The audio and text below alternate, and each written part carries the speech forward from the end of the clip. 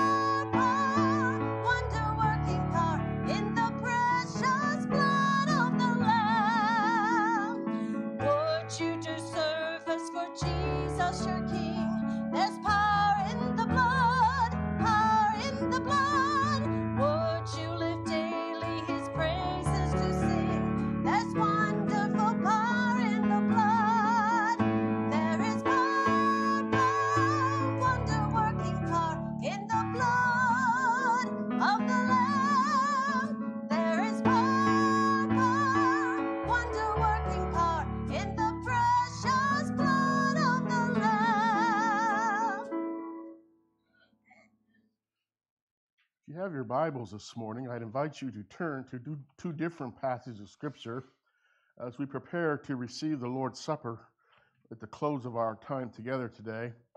I'd like to share with you some thoughts that emerge from the Old Testament, are carried throughout the Old Testament, and Jesus, during the Last Supper that he has with his disciples, as he celebrates Passover with them, the significance of God's plan unfolds in a fresh new way. So, if you would, first of all, turn to Exodus chapter 12. Exodus chapter 12. We want to read verses 1 through 14. They give us the background of the beginning of the Passover feast that the Jews have celebrated for hundreds and hundreds of years. And we read there in Exodus chapter 12, beginning of verse 1, these words The Lord said to Moses and Aaron in Egypt, This month is to be for you the first month, the first month of your year. Tell the whole community of Israel that on the tenth day of this month, each man is to take a lamb. Each person is to take a lamb a lamb, a lamb for his family, one for each household. If any household is too small for a whole lamb, a whole lamb, they must share one with their nearest neighbor. Having taken account of the number of people there, you are to determine the number, determine the amount of a lamb, a lamb needed in accordance with what each person will eat. The animals you choose must be year old males without defect, and you may take them from the sheep or the goats. Take care of them until the 14th day of the month, when all the members of the community of Israel must slaughter them at twilight. Then they are to take some of the blood, put it on the sides and tops of the door frames of the houses where they eat the lambs. The lambs. That same night, they are to eat meat roasted over the fire, along with bitter herbs, and bread made without yeast. Do not eat meat raw or boiled in water, but roasted over fire, with the head, legs, and inner organs. Do not leave any of it till morning. If some is still left till morning, you must burn it. This is how you are to eat it with your cloak tucked into your belt, your sandals on your feet and your staff in your hand. Eat it in haste. It is the Lord's Passover. Verse 12 On that same night, I will pass through Egypt and strike down every firstborn of both people and animals, and I will bring judgment on all the gods of Egypt. I am the Lord. The blood will be a sign for you, a sign for you on the houses where you are. And when I see the blood, I will pass over you. No destructive plague will touch you when I strike Egypt. And then verse 14 says, This is a day you are to commemorate for the generations. For the generations to come, you shall celebrate it as a festival to the Lord. Celebrate this feast, celebrate this festival to the Lord as a lasting ordinance. We now turn to the New Testament, just a few verses there. Matthew chapter 26.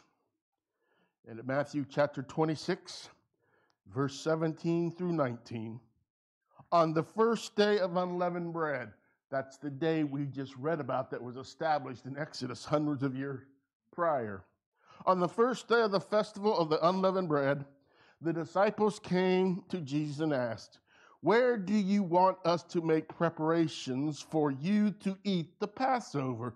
We need to make preparations. We need to make preparations for the Passover. Where do you want us to make those? He replied, Go into the city to a certain man and tell him, The teacher says, My appointed time is near. I'm going to celebrate the Passover with my disciples at your home. So the disciples did as Jesus had directed them and prepared the Passover. In this New Testament passage, please notice that in verse 17, the question is what about making preparations for the Passover? And the last verse we read, verse 19, the disciples, just as Jesus had directed them, prepared for the Passover. And today we want to talk about making preparations, making preparations so that we may truly experience the good news that is proclaimed when we partake and celebrate the Lord's Supper. May God's richest blessing be upon the reading of the Word and also the study of the Word as we continue to worship together. Let's sing about that glorious freedom that we get because of what Christ did for us. Once I was bound by sin's galling fetters. Now, I realize these words are not the same kind of words we use today, but the message is still the same, right? Today's, today's language, that'd be once I was a hot mess. That's what that would say, is saying in today's language. Yep. Struggling with all kinds of things, right? All manner of evil. All right, Hannah, I really appreciate Hannah doing this. She didn't know about this. She didn't know about this until a little after 8 o'clock this morning. Chuck's at home. He's in severe pain. He has to use his hands, his other hand to help his hand up to scratch his eye, so he can't play. He said there was just no way he could come and play. So if you would pray for him, I'd appreciate it, and I know he would appreciate it. So let her rip, Hannah.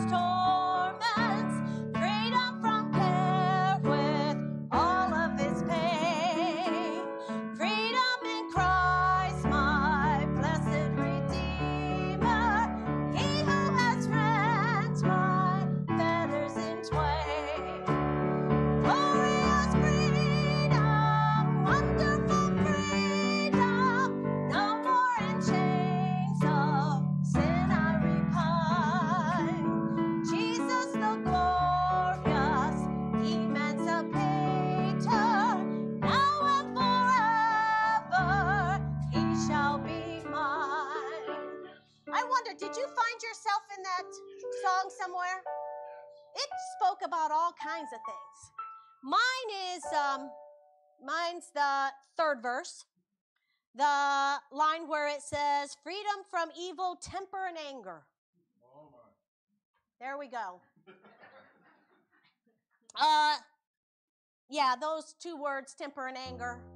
Um, that's kind of the uh, the little um, caption. If you would see a picture of my family, that would be the caption underneath it. You know, a family of anger and temper and and. Gro- well, no, not now, no, not now, not now. but you know, that spoke of all the things, all the pitfalls of life, right? All the things that we struggle with. And, uh, you know, praise the Lord, He is able to take us from our previous life, our hot mess of a self, and, and bring us into and help us along the road because life is a journey, right? Life is a journey. It's not a it's it's a marathon. It's not a sprint, you know. Uh, it's a marathon where you think, "Oh my goodness, I made it through that mile. Now there's another one coming and another one coming." But we have a finish line. And we have a hope. And he has given us that, and it's because of his faithfulness and his love and always chase after us. We might be the lamb in the mud, but did you, do you remember the picture? Do you remember him coming and running after us? And this week I have been praying that the Lord would keep running and chasing my loved ones, my family that is not uh, where they should be. And I hope and pray that you have also been um, kind of basking in that song and what it meant. Um, and so now is our turn to uh, open the altars up and to um, tell the Lord just how much we love Him. And we're going to sing, Father, I adore you. And then it says, Jesus, I adore you. Spirit, I adore you. So the, the Trinity, the three in one, that I cannot even pretend to wrap my head around that. But the Bible says that you can come as a little child. Do children understand everything, the ins and out of everything? No, they just have faith. If you tell them something, they believe it, right? I have to be careful at school. Yeah, because I'm, you know me, I'm always messing with the kids. So I got to be careful because I think they're going to believe me. So, but I'm glad that we don't have to understand it all because I don't think I ever could. And if it was if it meant that in order for me to get to heaven, I think I would be terribly hopelessly lost. But I'm glad that it doesn't. So let's sing Father, I adore you. Father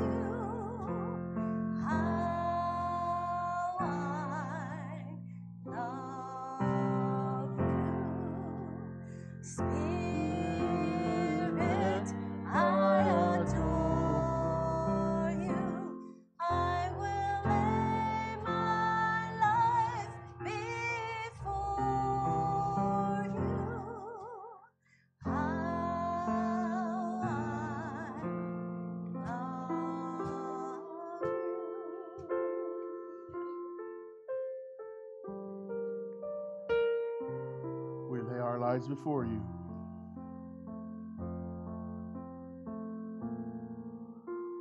Before we give you our needs this morning, we give you our hearts. We confess that if we don't first give you our hearts, we tend to ask for needs that may not be in, in line with your will.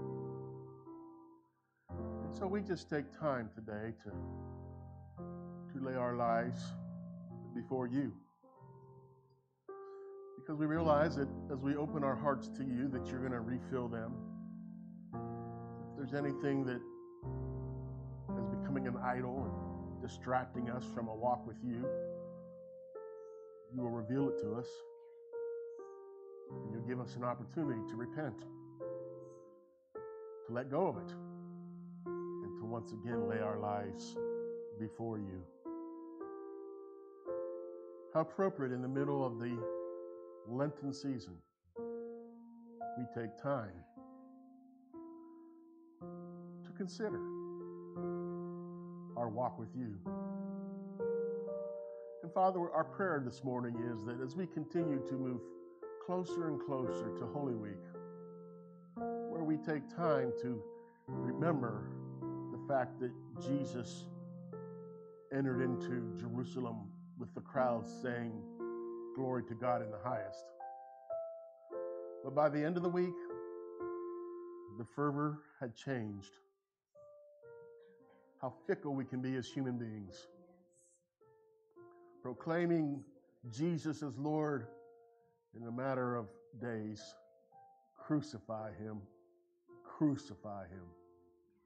And Lord, our prayer is that we would not be critical of the crowds, but may we have the courage to think about why the crowds were distracted, why they were so inconsistent, how the winds of political leadership and the winds of religious thought and discussions of religious theological truths, how that swayed them when in reality, they had the opportunity to experience Jesus Christ, the Messiah, the Son of Man, the Son of God.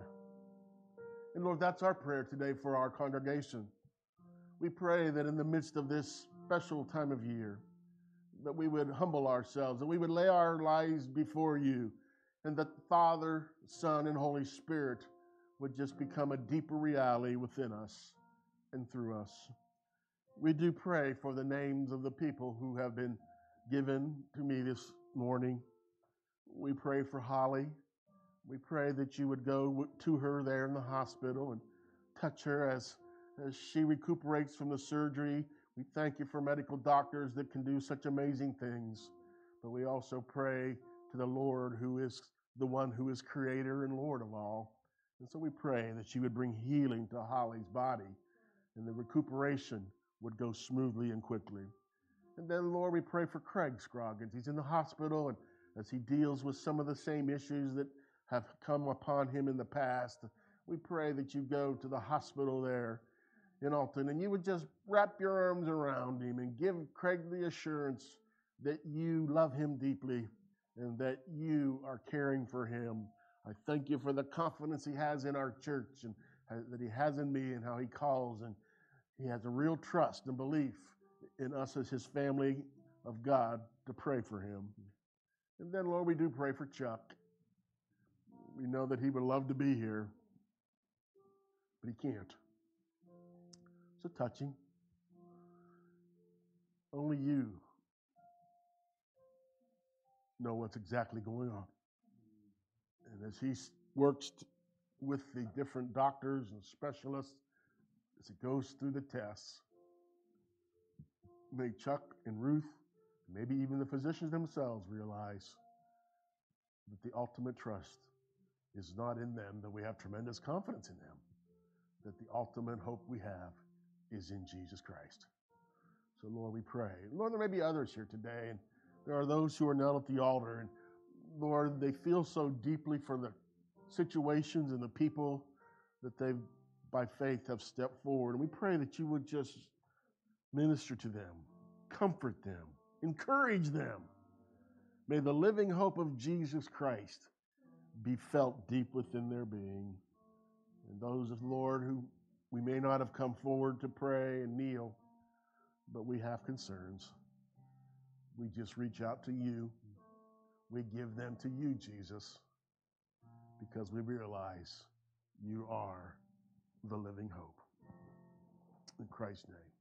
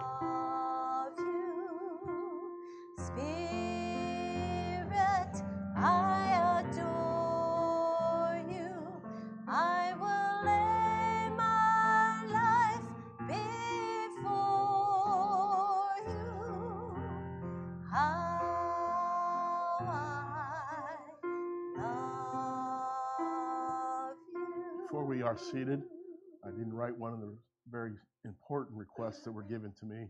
Cecil Stacy is not doing well at all. And uh, so let's just pray for Cecil. Uh, miss him. He was always back there, just his eyes always said, Go, Pastor, go.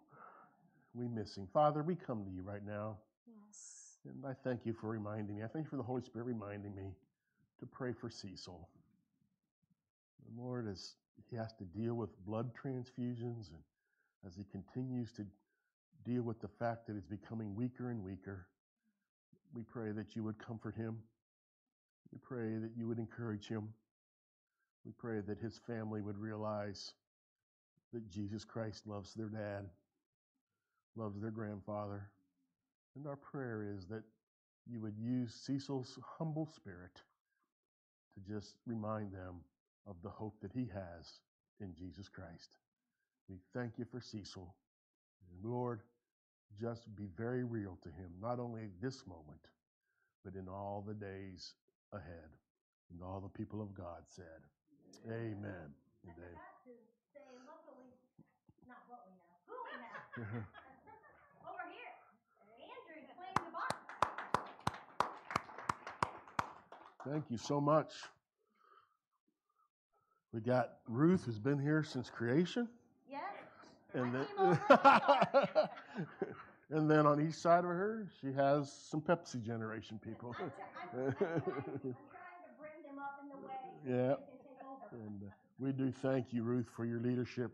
And we thank you, Hannah and Andrew, for your willingness to help. If you would like to be dismissed, children, you can go downstairs with Marcy for junior church. I think I will see if it might be possible. I'm not sure what's going on. I make the announcements and then just kind of smile uh, to see what happens. But uh, children, if you would like to go back there, Marcy is with back there waiting for you. So.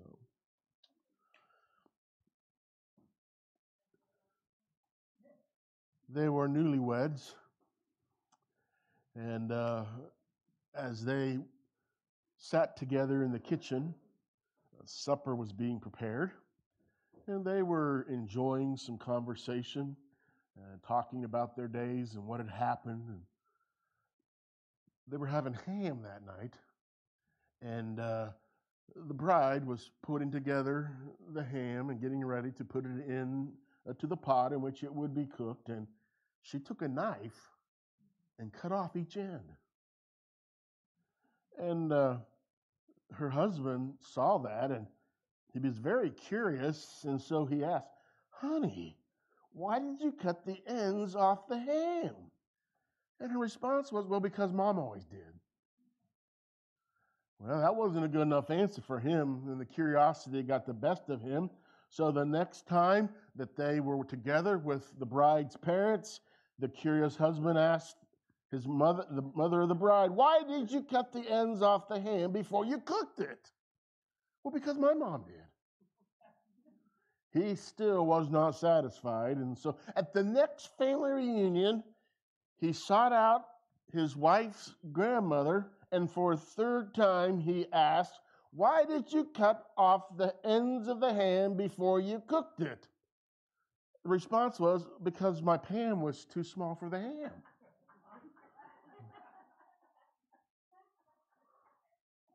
Hmm.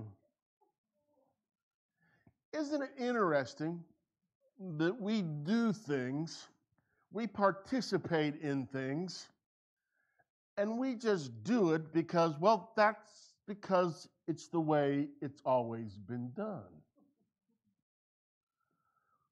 in Matthew's gospel, we have that apostle's description of what we call the Lord's Supper. With his 12 disciples, Jesus observes the important custom of the Jewish faith. For centuries, the people of the Jewish faith observed the Passover. They had done it year after year, decade after decade, century after century. Every Hebrew remembers and experienced what it was to come together, to get the family all together, and how they would gather and they would have everything prepared and they would follow very religiously the details of the Passover feast. Now, what's really interesting, Matthew is a Jew. And Matthew is addressing a Jewish audience. Each of the gospel writers has a particular people in which the writer is seeking to communicate with. And Matthew, being a Jew, has a tremendous heart for his Jewish brothers and sisters. And so he writes his account of the life of Jesus Christ from a Jewish perspective. And because he is addressing a Jewish audience, he does not explain all the details that are a part of the Passover feast. He doesn't waste ink. He knows that when he says Jesus' disciples wanted to make preparations for Jesus to observe the Passover, they knew exactly what they were what Matthew was talking about. And in verse 17 of Matthew 26, the key words that we pointed out are make preparations. Where do you want us to make preparations? We are going to eat the Passover. What preparations, where do you like us to go and make the preparations?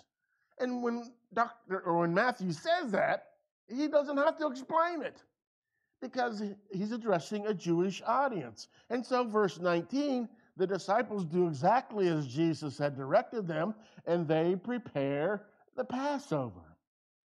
And so, what I would like for us to do today is to turn back to the book of Exodus.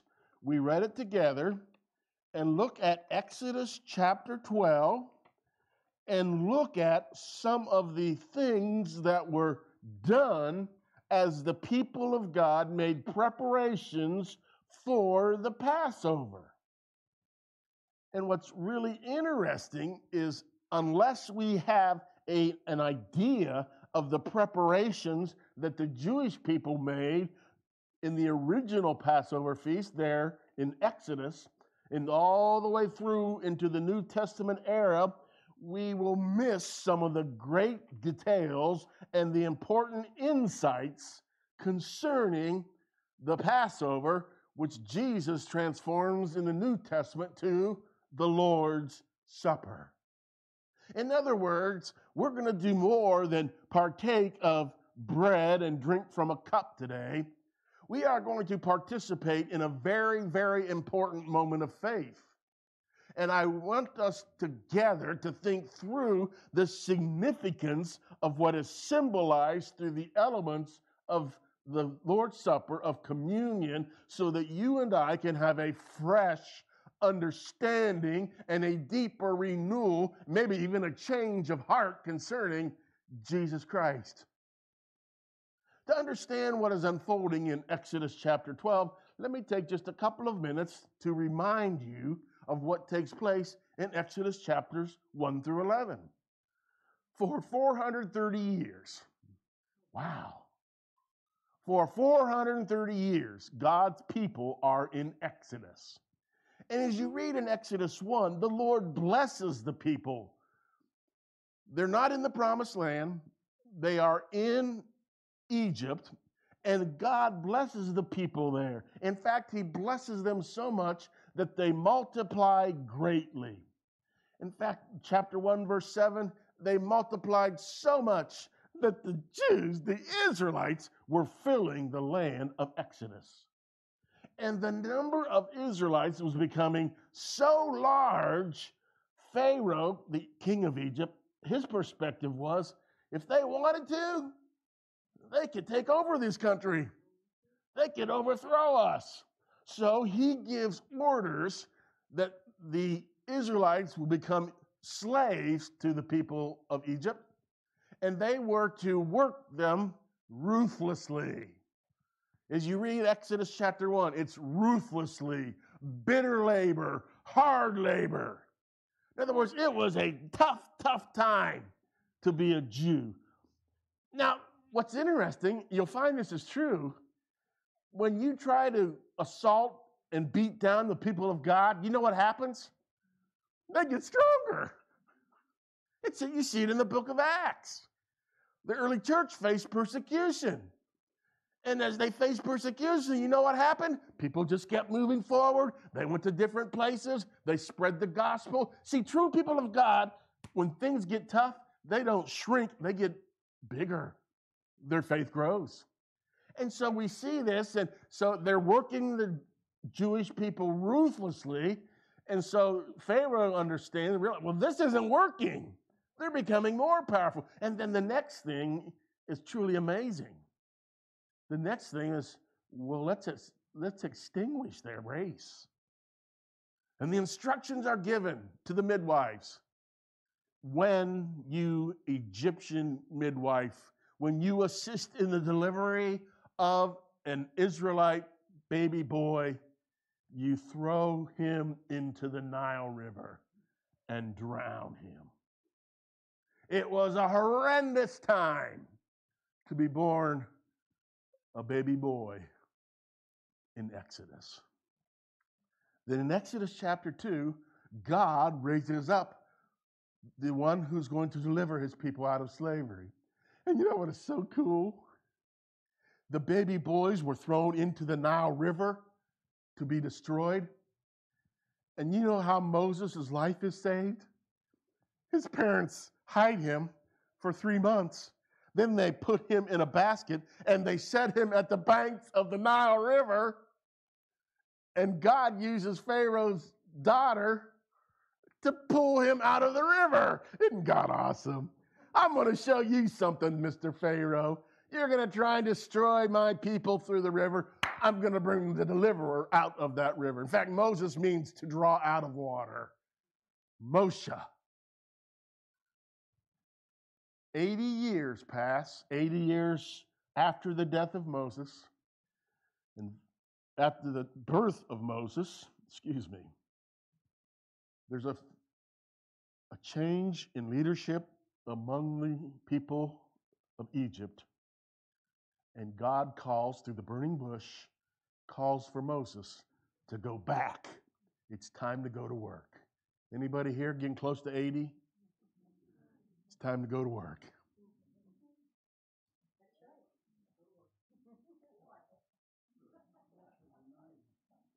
Now we're talking about kingdom purposes. But Moses goes back and he marches into Pharaoh's office and says, My God says, let my people go. And you know what Pharaoh says? Ha! No way, no way, no way. And to summarize what takes place in those first 11 chapters, as we move closer and closer to Exodus chapter 12, God says, Okay, Mr. Pharaoh, we're going to have a showdown. There's going to be a battle between your hundreds of gods in Egypt, and you're going to be put in a contest with the true and living God. And what we have are the 10 plagues. And I don't have time to deal with it now, but each one of those plagues is a direct attack on one of the key gods, little g, of the nation of Egypt. And the one that I would like to call to your attention is the first one. Remember what the first plague was? Once again, it involves the Nile River. For the Egyptians, the Nile River was their God. It was the God of their commerce. It was the water supply that enabled the nation of Egypt to experience all the good things of life. And not only does Moses, when he is a baby, brought out of the Nile River, The first plague is that the river is turned to blood. And what we find then is a natural outflowing of what would happen if a water source for a people was fun- suddenly turned to blood. Gnats. Of course, the frogs want to get out of there, so they, I mean, it's just, it's just a natural outflow. Pharaoh says, No way, no way, you're not leaving. God says, Watch me break your heart and break your will. And what we want to focus on then is the 10th plague the plague of the death of the firstborn. And the plague of the firstborn is described in chapter 11. The bottom line is that uh, the firstborn of every family, be it human or animal, the firstborn will die unless there is an act of faith. That act of faith, God gives the instructions. We read them in chapter 12. The instructions are Hebrew people, this is what you are to do. You are to take a lamb. Would you say it with me? A lamb. Say it again. A lamb. You are to take a lamb that is spotless and you are going to slaughter it. And you are going to take some of the blood of what? The lamb. And you are going to take a paintbrush and you're going to paint the blood of the lamb on the doorpost, on the door frame, across the top and down the sides. And by faith, you will do this. You will offer a sacrifice of a lamb. You'll take the blood, you'll paint your door frame with it, and then you are to prepare the meat and to have a feast. Not just a snack, not just some wafer, but a family reunion. I mean, this is going to be great.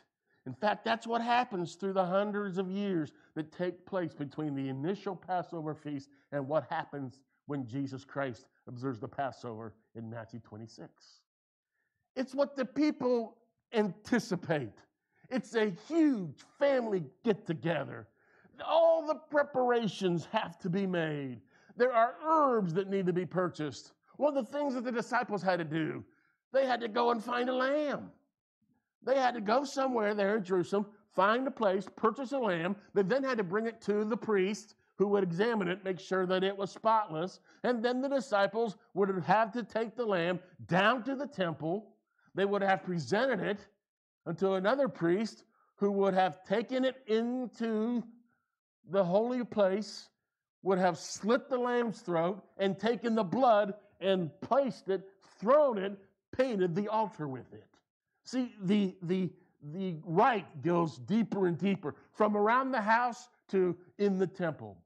But the thing that we need to remember, the thing that I want for us to understand is it involves a lamb and the lamb is to be prepared. The lamb is to be slaughtered, and the blood of the lamb is what is significant for to the experience of the Passover. Specific instructions how to select it, how to slaughter it, how to eat it, even how to burn what remains. The key, the blood of the Lamb. Now, what's really interesting, in verse 7 and verse 11 of Exodus chapter 12, the instructions are eat the lambs. Verse 11, eat it, referring to the lamb. Eat the lamb. Eat the lamb. What I would like to propose to you is that the lamb, the herbs, the bread, it's a very special time it is a Passover feast. And central to the feast was what? I really want us to get this. Central to the feast of the Passover is what? The lamb. They are to feast on the lamb.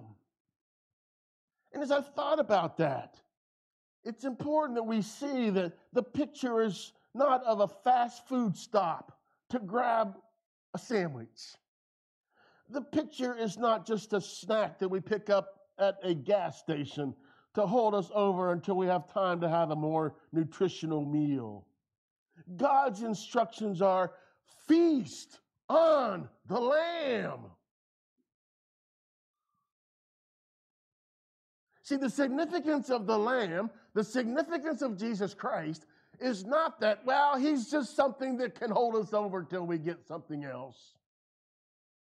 The centrality of Jesus Christ is that we just don't, you know, nibble just to get enough to get through another three or four days. We feast on the Lamb. Jesus catches this in his earthly ministry. In John chapter 6, we have one of the most interesting passages concerning Christ's ministry. Of course, John chapter 6 begins with Jesus feeds the 5,000. A crowd of some 15,000 people. He takes five small barley loaves and two small fish, and he feeds a crowd, 5,000 men plus women and children. And the people are amazed. What a miracle! Whenever we need a snack, we can find Jesus and he'll give us fish sandwiches. See, that's their mentality. We can run to him and he can hold us over until we run out of spiritual gas next time. And then we'll run to him again. And because of that mentality, Jesus gives a discourse. He talks to the crowd as the people ask questions, as the religious leaders ask questions. Jesus begins to give a discourse in which he says, You know what? You just had some bread. I want you to know, John 6 35, I am the bread of life. He says it again in verse 47 I am the bread of life. You've just had some physical bread, which gives you nutrition physically. But I want you to understand, he says, there is a deeper truth that is found in me. I'm just not the one who can provide a snack when you're hungry. I am the bread of life. Verse 50, John said, I'm the bread that comes down from heaven. Verse 51, I am the living bread that comes down from heaven. And then notice this whoever eats this bread will live forever, will live in the forever dimension. This bread is my flesh, which I will give for the life of the world. Uh, what you talking about, Jesus? Eat your flesh? Yeah. To take you into the center of my system? Yes. Are you teaching cannibalism? Don't be absurd. That's what some of the early people who wanted to destroy the church tried to accuse them of. They say that they eat the flesh of Jesus. They're cannibals. Come on. Jesus is talking about feasting on Him. Verse 55, you know what he says? Whoever eats my flesh and drinks my blood remains in me and I in them. If you take the symbols, Jesus says, my hope is you'll experience the reality and that you will take me and you begin to feast on me. Well, that's kind of tough, Pastor. Well, yeah, you're right. Well, how does that chapter end? I'm glad you asked. Verse 66 the feeding of the 5,000. What a great miracle. End of the chapter, verse 66. From that time, many of his disciples turned back and no longer followed him.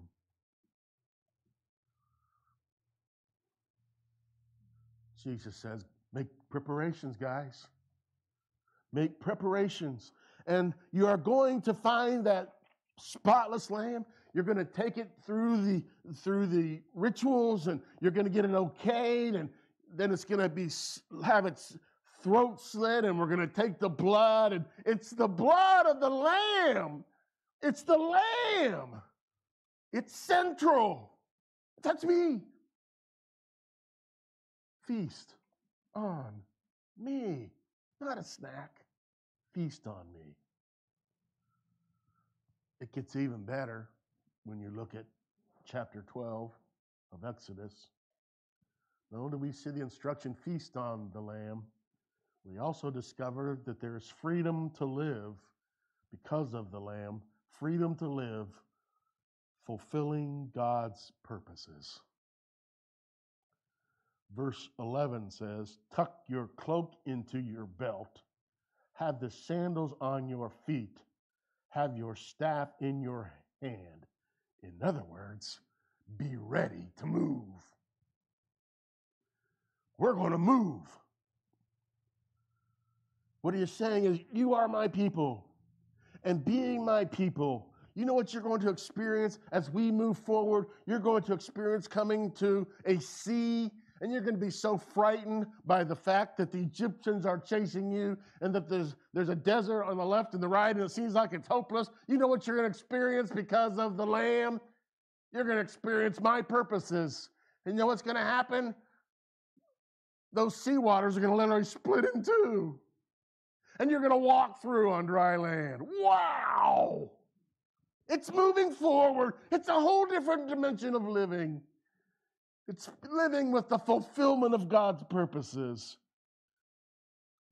You're going to live by faith. You're going to be in need of bread. And you know what's going to happen? Because we're moving forward, I'm going to take care of you. I'm going to supply for you. And when you're hungry, you know what's going to happen? There's going to be bread, manna, which interpret, is interpretive. What's that? There is bread that's going to fall from heaven, and you're going to eat it. And in your humanity, you're going to store it up because you have to have enough for tomorrow. But I want you to learn to live by faith. And so any that you keep for the next day, when you go to pull it out for breakfast, man, it stinks. It's rotten already. It's living the freedom to live, fulfilling God's purposes.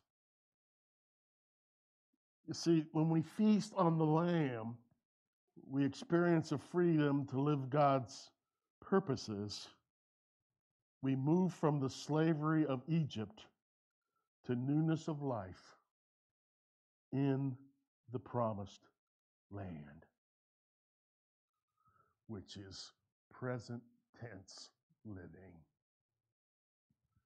In fact, if we were to jump ahead to Exodus chapter 19, we would get a rich understanding of what it means to have the Lamb so part of our lives that we experience the freedom to live fulfilling God's purposes. In Exodus chapter 19, the people of God, they've come through the Red Sea. They've experienced the miracle of having manna, bread come from heaven. They've seen water gush out of a rock. I mean, they've just experienced all these great things of moving forward, and they come to Mount Sinai.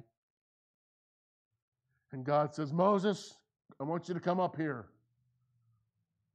And Moses goes and has a conversation with God. And God tells Moses what his purpose for his people is. And he tells them, What I want you to understand is that I brought you out of Egypt. I brought you out of Egypt to myself that out of the nations you will be my treasure possession. Oh, and you will be for me a kingdom of priests and a holy nation. See, Hebrews were true people, just like you and me. We like hearing about being a treasured possession. But God's purpose includes you will be for me a kingdom of priests, and you will be for me a model to the nations. You will flesh out what it means to be a holy people because you are a holy nation. I thought he just wanted to get us to the promised land. Promised land, present tense. Living in the reality of feasting on the Lamb and living in the reality of, of, of fulfilling God's purposes.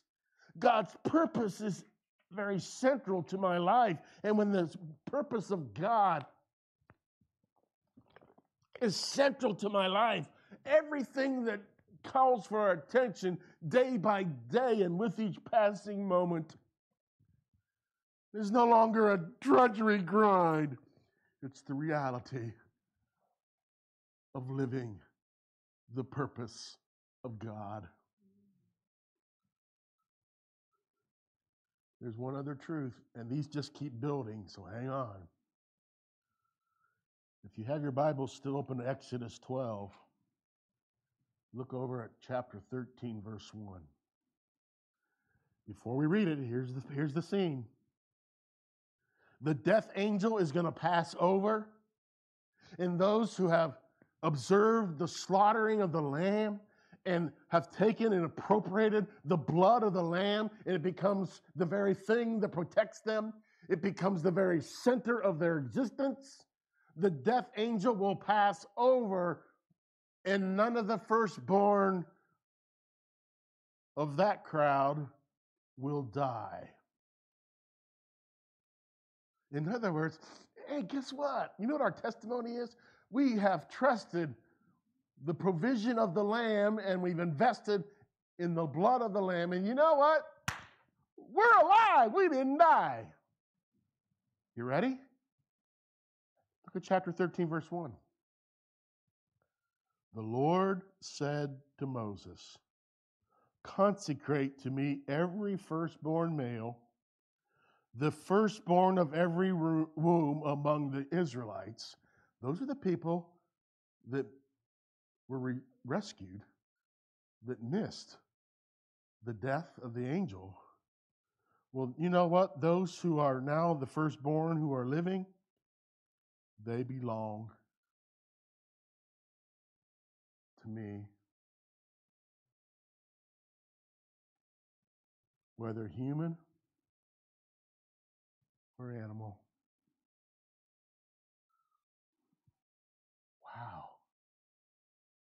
You mean it's not just avoiding death? You mean that this Passover and this feasting on the Lamb and the ability to live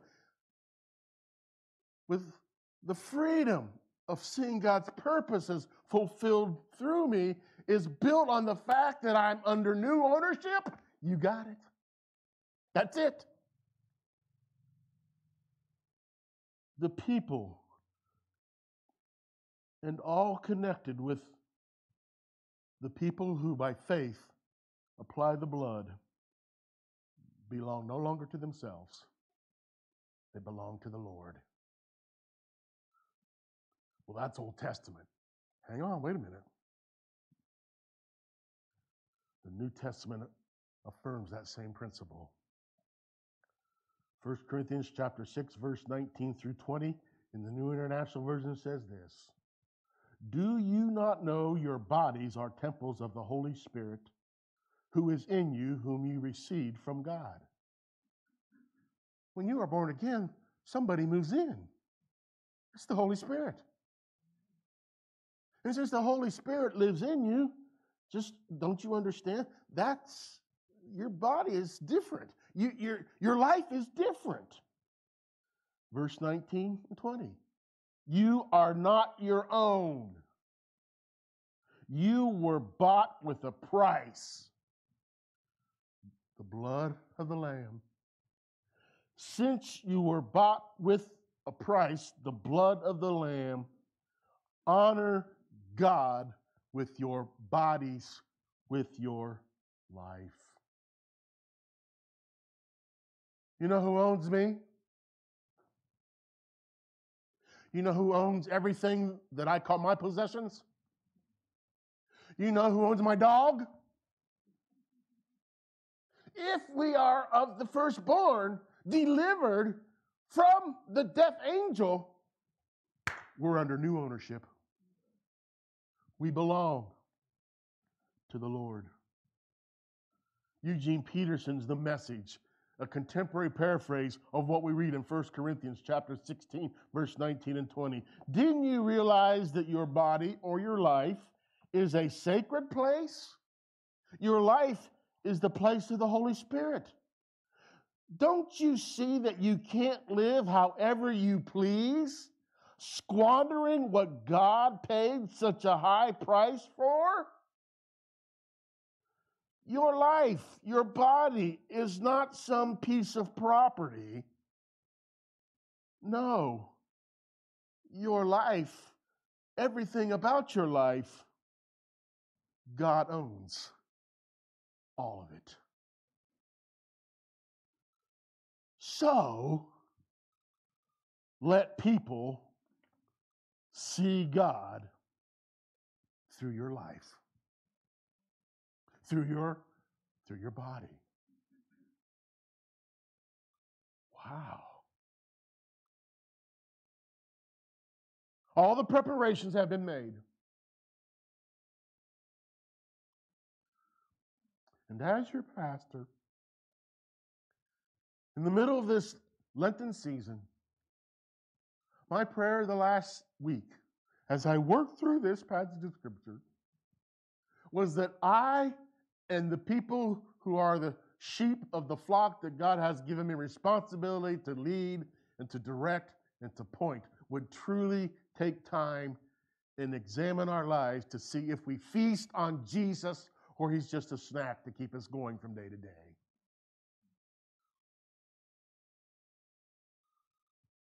It's all seen in what's represented in the preparations. We are going to take together and serve communion as we typically do.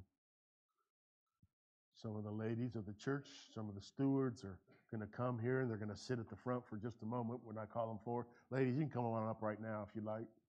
Take a seat at the front.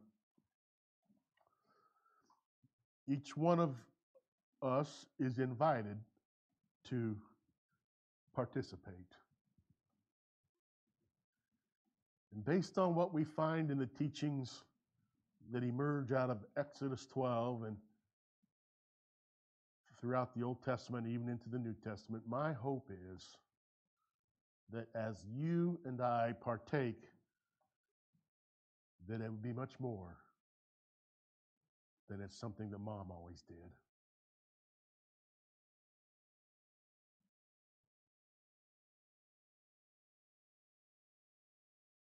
My hope and prayer is that what we do symbolically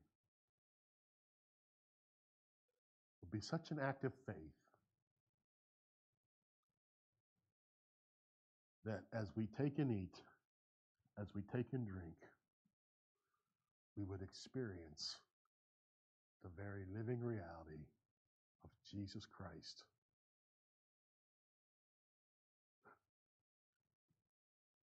Purpose of my life,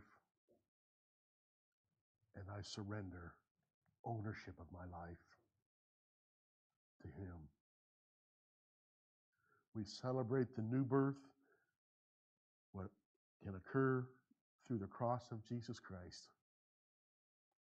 But because of what we find through the biblical record, we're not only celebrating the fact that we are born again, we are celebrating the fact that we live differently.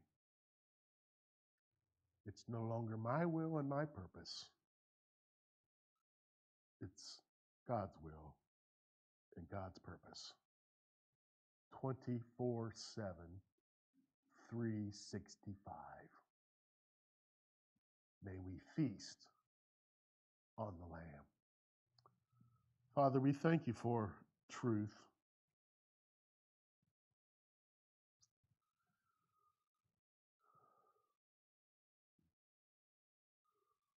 We thank you for reminding us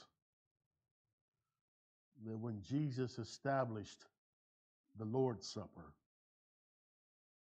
he was taking a ritual and bringing a tremendous New Testament depth to it. And Lord, we want to today just get a taste, to get a sense of what we are doing and what it represents. Our prayer is that as we are served the elements, that we will not just see wafers and see grape juice. May we have a depth of understanding that what we hold in our hands are the body and the blood of Christ, symbolically speaking. Give us the grace to do more than observe the Lord's Supper and take communion. Give us the grace to experience Jesus Christ, the Lamb of God, who enables us and frees us to fulfill the purpose of God through our lives, and who actually paid the price and bought us back. Give us the grace to understand that you own us. We belong to you. May this truly be a time, as we sang earlier, of laying my life before you. Father, how I love you. Jesus, how I love you. Spirit, how I love you. I love you so much. May I lay my life before you. The blessed name of Christ, we pray, and in an attitude of complete surrender and submission, we continue. The ladies are going to come at this time and prepare to serve you. We will follow the pattern we have been using since I've been here. If you are seated to my left, if you will go toward the wall on your right, come forward, move across. You can pick up some of the wafers and pick up a cup. If you are on the other side, same way, move to the wall, come down the aisle, pick up a wafer and a cup. Return to your seat. If you would please hold it after all have been served, I will lead us in partaking. Please stand and just from the front rows, just come on forward, okay? If you can't come, just raise your hand and the ladies will bring it to you.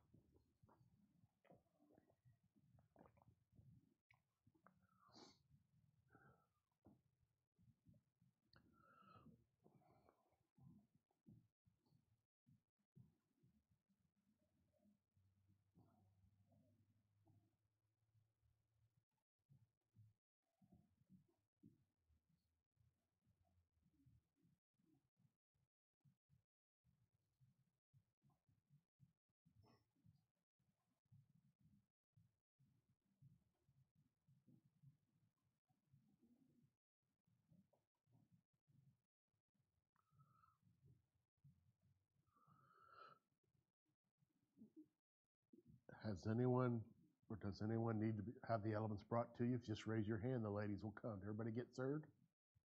Ladies, if you'll serve yourselves, and return to your seat, then we'll take together.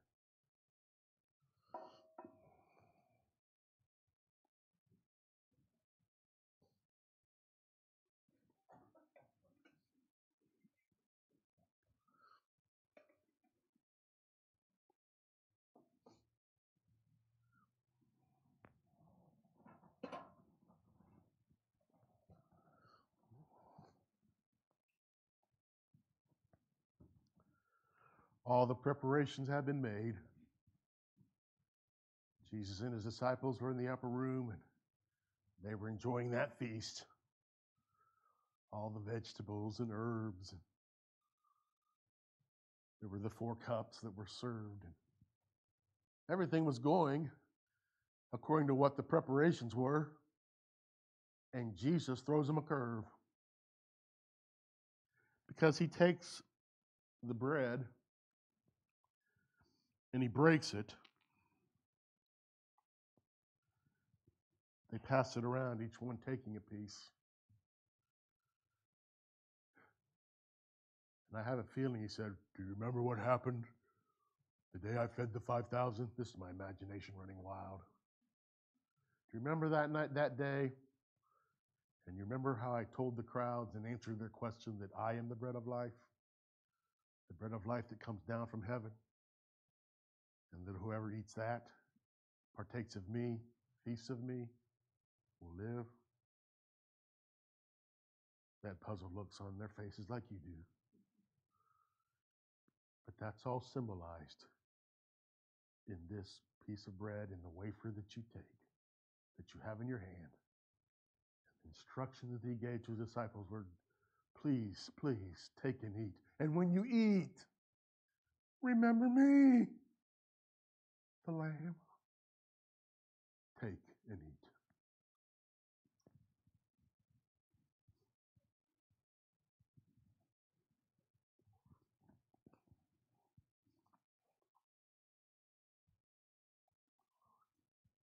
The Passover feast, there were four cups. They had taken the first cup and they shared together. Second cup was passed around and they all took a sip. Jesus takes the third cup, which is the cup of redemption, and says, Remember out there on the hillside where I said that, that anyone who drinks of my blood? Well, the fruit that's in this cup, the wine that is in this cup, it represents my blood. And what I want you to know, gentlemen, it's the blood of the Lamb. You're aware of that, guys. I mean, you've gone through the ritual for years. He looks over Peter and James and John, who had scrambled for days trying to get everything ready, and there they, they have the lamb ready. And he says, All the preparations, don't miss the truth. It's the blood of the Lamb, and I'm the Lamb who enables you to be set free from the penalty and the power of sin. You are redeemed. You are bought back. Ownership of your life changes hands. So he said, Take and drink. And as you do, remember me, the Lamb. He gives us those same instructions. Take and drink and remember Jesus Christ, the Lamb.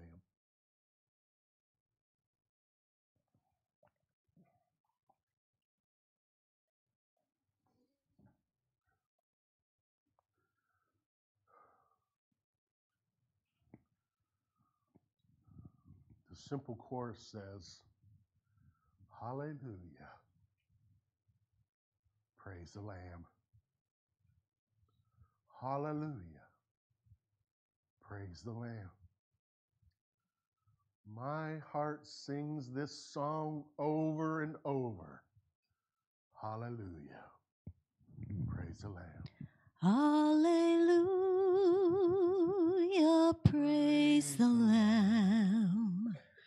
Hallelujah,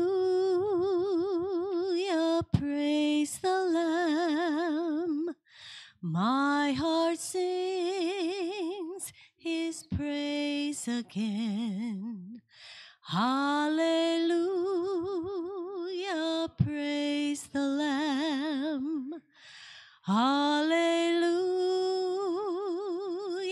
praise the Lamb. Hallelujah, praise the Lamb. My heart sings his praise again. Hallelujah, praise the Lamb. Hallelujah, praise the Lamb. Hallelujah,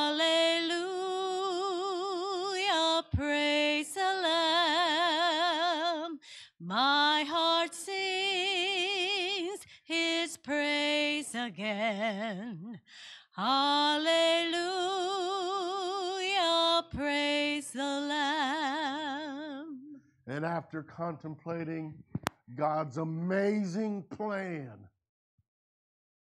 and how it includes us, all the people of God said, Amen. Amen. Go in the peace of the Lamb. God bless you.